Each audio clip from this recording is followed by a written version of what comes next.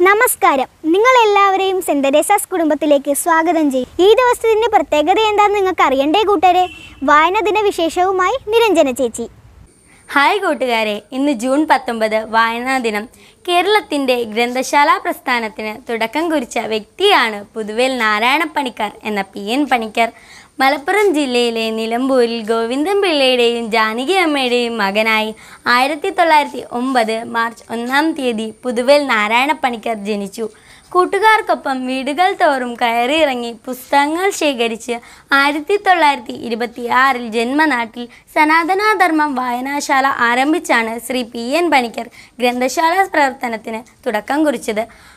ആയിരത്തി തൊള്ളായിരത്തി എഴുപത്തി ഏഴിൽ ഗ്രന്ഥശാല സംഘം സർക്കാർ ഏറ്റെടുത്തു. അതുവരെ ഗ്രന്ഥശാല സംഘത്തിന്റെ ജനറൽ സെക്രട്ടറി അദ്ദേഹമായിരുന്നു. ദീർഘനാൾ ഗ്രന്ഥശാല സംഘത്തിന്റെ മുഖപത്രമായ ഗ്രന്ഥലോകം നാട്ടുവെളിച്ചം ക്യാൻസർ ന്യൂസ് എന്നീ പ്രസിദ്ധീകരണങ്ങളുടെ പത്രാധിപനായും സേവനമനുഷ്ഠിച്ചു.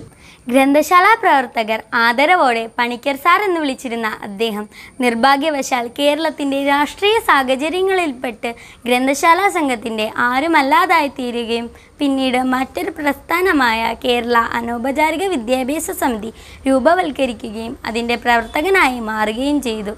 വായിച്ചു വളരാം ചിന്തിച്ച് വിവേകം നേടാം എന്ന മുദ്രാവാക്യം പണിക്കർ സാർ കേരളത്തിലെ അയ്യായിരത്തിലേറെ ഗ്രാമങ്ങളിലെത്തിച്ചു.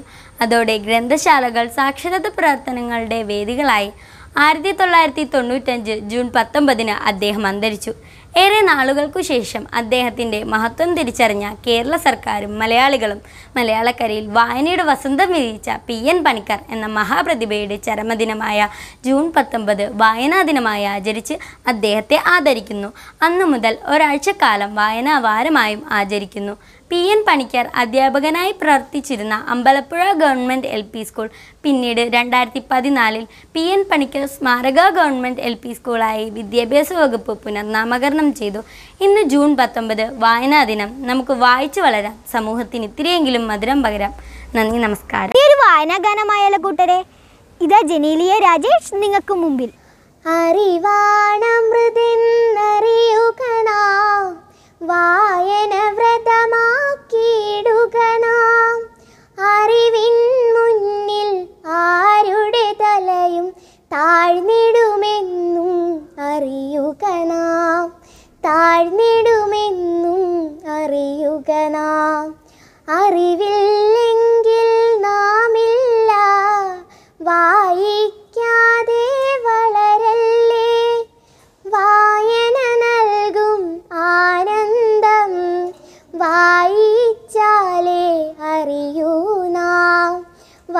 വായിച്ചാലേ അറിയൂ നാം. അറിവുള്ളവരായി വളരുക നാം. തിരിച്ചറിവുള്ളവരായി മാറുക നാം. വായന നൽകും വാക്കിൻ ശക്തി വാചാലത കൊണ്ടറിയുക നാം. വാചാലത കൊണ്ടറിയുക നാം. ജ്ഞാനം തന്നെ ജീവിത ലക്ഷ്യം വായന തന്നെ സാധന. വായിച്ചറിവതു നേടുക പിന്നെ വായിച്ചറിവു പകർന്നിടുക. വായിച്ചറിവു പകർന്നിടുക. വളരും തോറും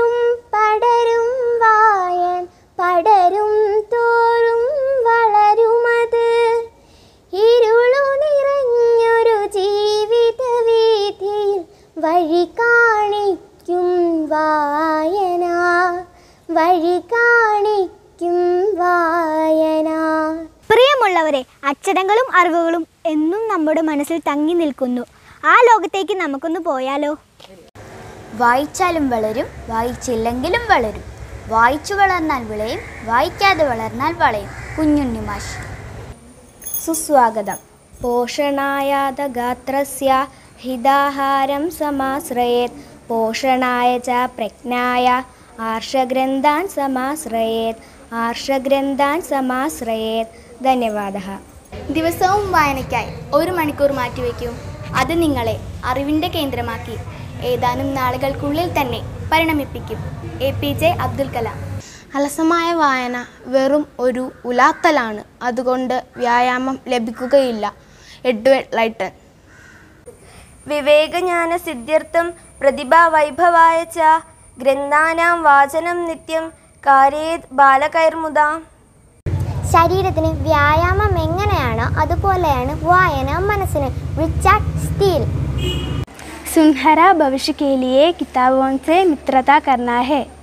ചിന്തിക്കാൻ സഹായിക്കുന്ന ഒരു ഉപകരണമാകുന്നു വായന. വളരെ അധികം ചിന്തിക്കുക കുറച്ച് മാത്രം സംസാരിക്കുക അതിലും കുറച്ച് എഴുതുക.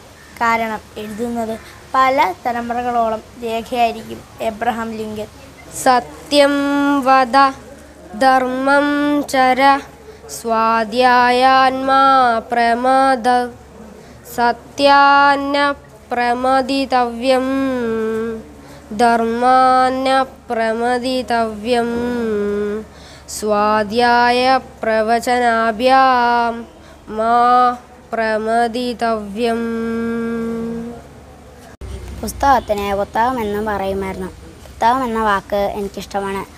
പുത്തൻ കാര്യങ്ങൾ അകത്തുള്ളത് പുസ്തകം കുഞ്ഞുണ്ണി മാഷ് Reading A Vacation for the Mind Day Berry അന്തർജാലേ മഹാപുടേ ലപന്തി ഗ്രന്ഥതല്ലജ അന്തർജാലേ ജപത്നേ തു ഹസ്തഗ്രന്ഥോ സദാശ്രയ पुस्तकों से प्यार करोगे तो जीवन भर सफल रहोगे पुस्तक आत्मविश्वास का निर्माण करती है किताब एक प्रकार का उपहार है जिसे आप कई बार खोल सकते हैं। एक अच्छी पुस्तक हमारे सच्चा मित्र है। The greatest gift is a passion for reading Elizabeth Hardwick पुस्तकेन हृदि भासदे मृदुल चोदना संस्कृतिं परिरक्षणाय हि पठद पुस्तकमुत्तमम् കൂട്ടുകാരെ വായന ദിനത്തോടനുബന്ധിച്ച് നമ്മൾ നടത്തിയ പോസ്റ്റർ മത്സരമുണ്ടല്ലോ. അതിൽ മികച്ചത് നിങ്ങൾക്ക് കാണണ്ടേ? വായന വേണം വായന വേണം വായന വേണം അറിവതു നേടാൻ കഥകൾ പാട്ടുകൾ പൊതുവിജ്ഞാനം കളിയും കാര്യവും ഇങ്ങനെ പലതും.